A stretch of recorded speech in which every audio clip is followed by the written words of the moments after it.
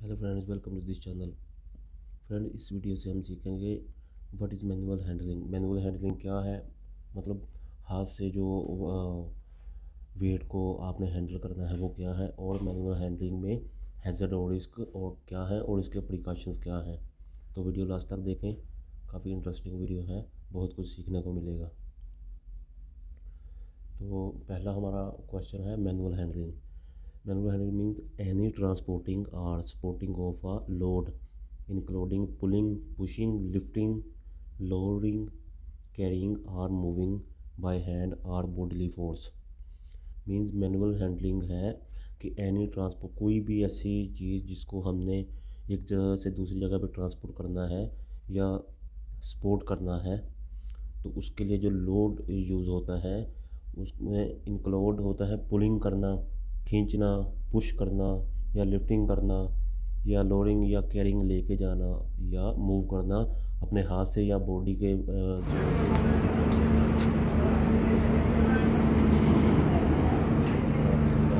Next हमारा step है risk associated with manual handling manual handling के साथ क्या क्या रिस्क शामिल है? तो इसमें है manual handling can result in fatigue and lead to injuries of the back, neck, shoulders, arms or other body parts.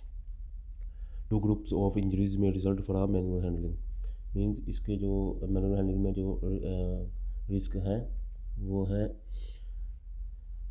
Fatigue थकावट हो सकती है और लीड कर सकता है इंजरीज इंजरीज हो सकती है ज़ख़म हो सकते हैं और आपके कमर पे, जो बैक पे दर्द हो सकता है और नेक गर्दन पे और कंधों पे शोल्डर्स कंधों पे आर्म्स हाथों में पेन हो सकता है और बॉडी के दूसरे पार्ट्स पे पेन हो सकता है। और इसके जो मैनुअल हैंडलिंग रिस्क है cuts bruises fractures it is due to sudden unexpected events such as accidents और मैनुअल हैंडलिंग से आपके किसी भी हार्ट को कट्स लग सकते हैं ब्रूचेज हल्का ज़ख्म हो सकता है और फ्रैक्चर्स और हड्डी टूट सकती है E T C etcetera due to मतलब अचानक अनएक्सपेक्टेड गैर मतवक़ इवेंट्स या एक्सीडेंट्स की वजह से ये हो सकता है, ये भी रिस्क है इसमें। और सेकंड है damage to the musculoskeletal system of the body muscles tendons ligaments, bones, joints, blood vessels and nerves because of gradual or cumulative wear or tear through repetitive manual handling. These injuries are called musculoskeletal disorders MSDS. Mean manual handling आपके muscle system को और body के जो parts हैं जैसे कि muscle है आपकी नस है टेंडन्स मस है लिगामेंट्स जॉइंट्स और बोन्स हड्डी और ब्लड और वेसल्स और नर्व्स आपका पट्टे वगैरह ऐसा कुछ जो है उसको इट मीन ये ग्रेजुअल और कोमुलेटिव सब कुछ और ये मिला के मैनुअल हैंडलिंग और आपको पट्टा का जो सिस्टम है उसको डैमेज कर सकते हैं और इसको बोलते हैं मोस्कुलोस किलेटल डिजॉर्डर्स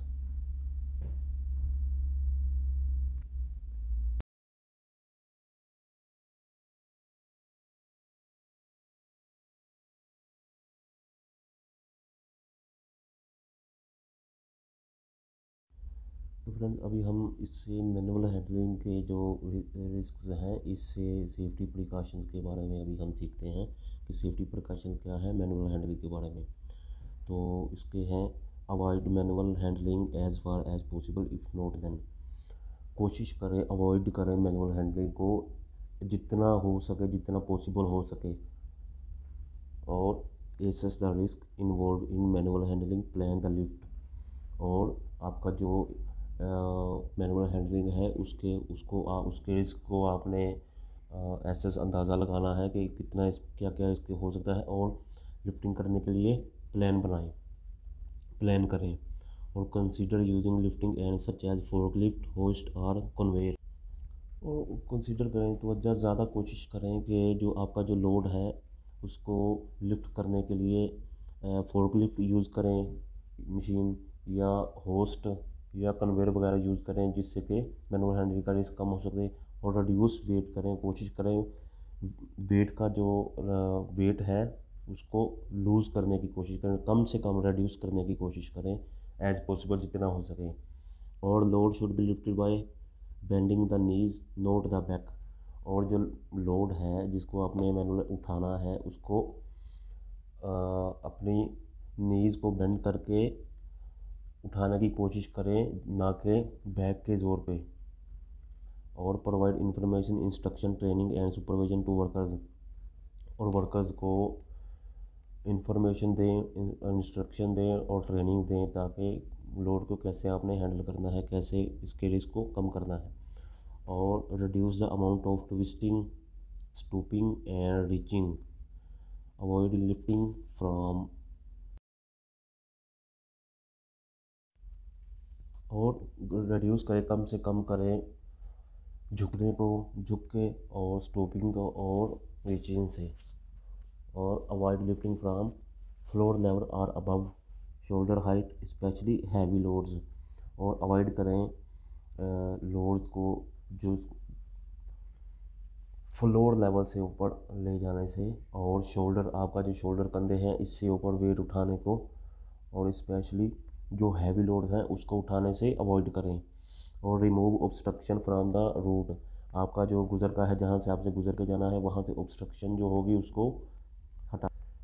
और make good good grip and the load should be hugged as close as possible to the body and keep the load close to the twist to the waist sorry means आपका जो load है, जो आपने उठाया हुआ है, उसको, उसकी ग्रिप को अच्छा करें। और इसको ज़्यादा से ज़्यादा अपने बॉडी से क्लोज़ करें और अपने लोड को वेस्ट कमर के दरम्यान में रखें